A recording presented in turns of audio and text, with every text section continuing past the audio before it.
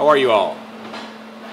Vince Roman from Burns Stainless in a new episode of Vince in Shorts. Haven't been on a video here for a little while, but uh, noticed that there are some interests in the videos that we have posted on YouTube, so we thought we'd uh, resurrect this and put a few more of these uh, videos out there to try to inform you about Burns Stainless products, about what's going on in the exhaust world. And today what we're going to be doing is talking about Burns Stainless mufflers. So uh, Burns Stainless has been making for several years now a lightweight stainless steel muffler that has been used for many forms of uh, racing.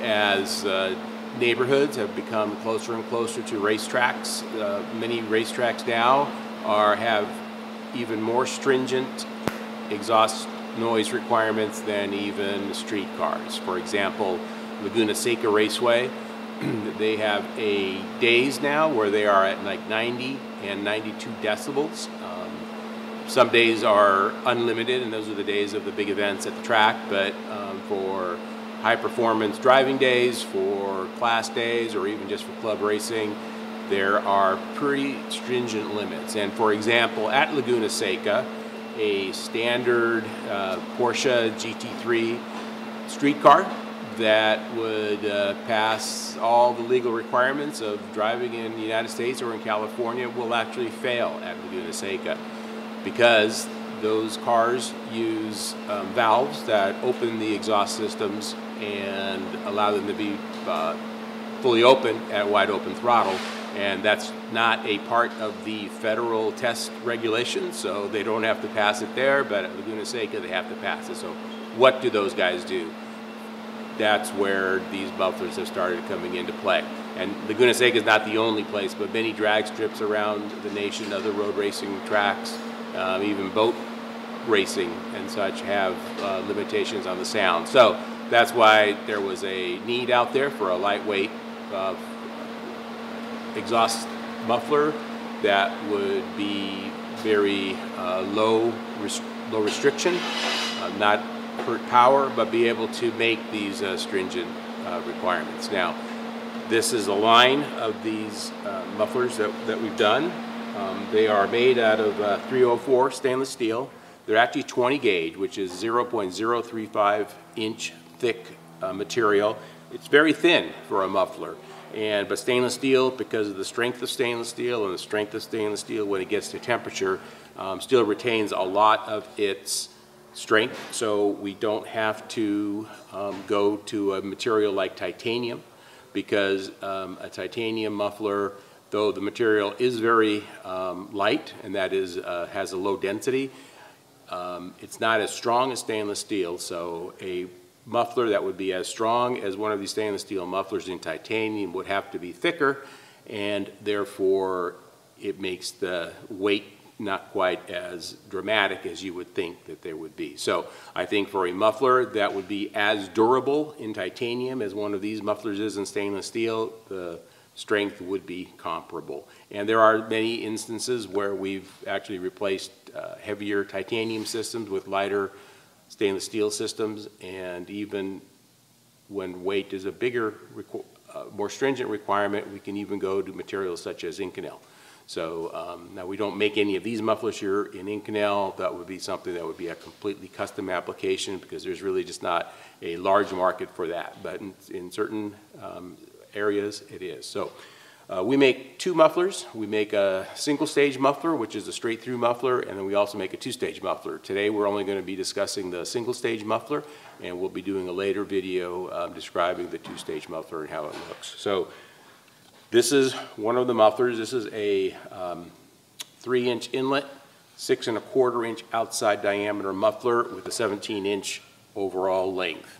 The lengths that we specify are going to be the overall lengths, which are going to be three inches longer than the actual bodies as defined by the, these endpoints, because we have these inlet and outlet slips to slip over your um, tailpipes.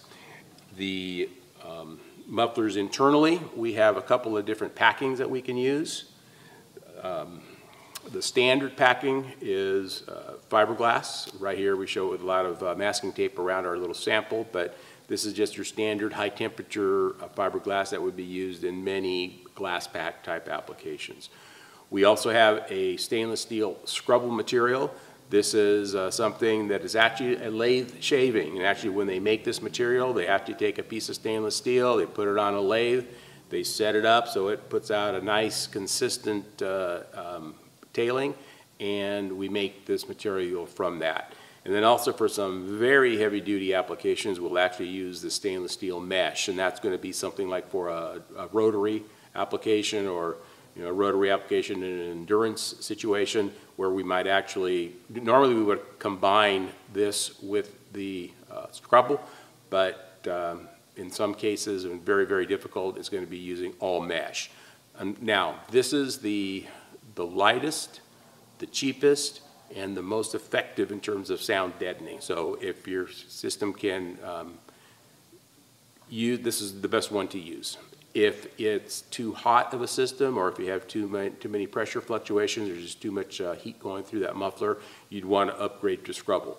And if that doesn't work, then I would upgrade to this material because this is going to be heavier, more expensive, and louder, but it's going to be durable and they're saying this is even more expensive, it's even more durable, and it's even more louder.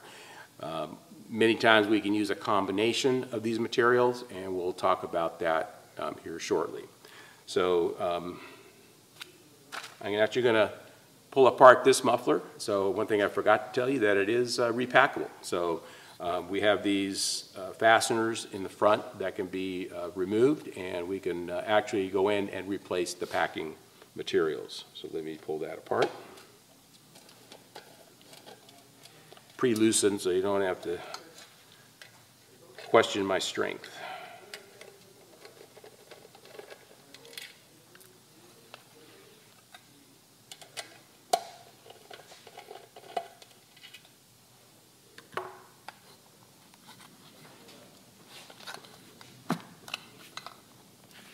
Now you can question my strength.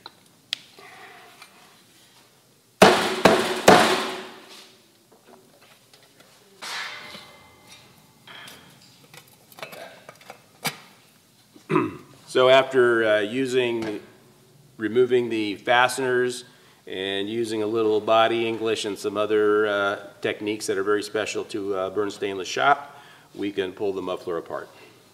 So we have these uh, inserts that are used to hold the fasteners. And then in this particular size of muffler, which is the six and a quarter inch diameter, we are actually able to put two different materials in, in the muffler. So you'll see that we have the perforated core, we have the scrubble material um, around the core, and then we put the, the fiberglass material on the back. In this case, we find this to be a very effective solution. We're getting the, the good sound absorption from the fiberglass. We're getting the durability from the scrubble. And not all combinations allow us to do that. In some of these smaller mufflers, such as this one, which is a four and a half inch diameter muffler, we only have room for one or the other. But on these larger ones, um, it's, it's very good. So um, it's very easy. I'm not going to do a complete uh, packing here, but the scrubble is wrapped around the, uh, the core. It is then wrapped with the uh, fiberglass and then is placed inside of the system and, or, and is indexed on some little stub tubes that are in on the inside. So the, the tube with the uh, packing material goes in. It actually indexes on these little stubs that are on the inlet and the outlet of the muffler. And then the uh, caps are just put back on. And again, a little bit of uh, body English to put these back together and to insert the fasteners. But it's a, it's a relatively easy um, procedure. I would recommend that you do check these things often. And even if you were to go in there and uh, loosen and unloosen the fasteners or uh, replace the fasteners, even if you don't remove it to repack it, it will make your life easier in the long run. The mufflers are available in many different sizes. As I showed you the three inch by six and a quarter already. This is a uh, two-inch inlet muffler with a four and a half inch diameter, also with a 17-inch long body.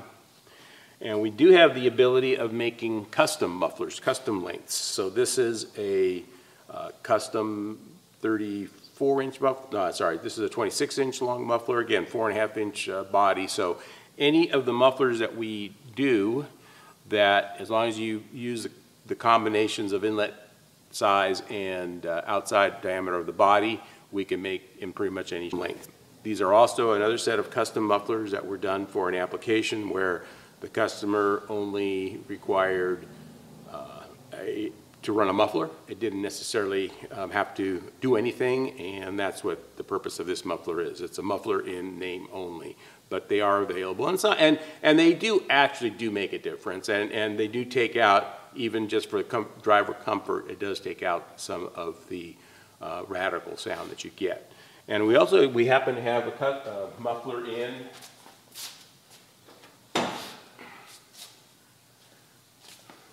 We do have a muffler from one of our uh, customers.